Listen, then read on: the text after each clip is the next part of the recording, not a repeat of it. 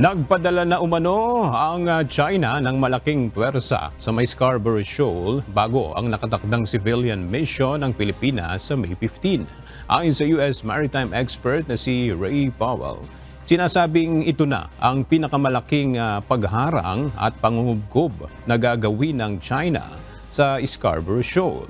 Sa kanyang ex-post, sinabi ni Powell na nagpadala na umano ang China ng apat na Coast Guard ship sa lugar kasama na ang 26 na malalaking maritime militia. Ayon pa sa maritime expert, tila determinadong muli ang China na gumawa ng agresibong aksyon upang igiit ang umano'y kanilang karapatan sa pinagtatalunang teritoryo.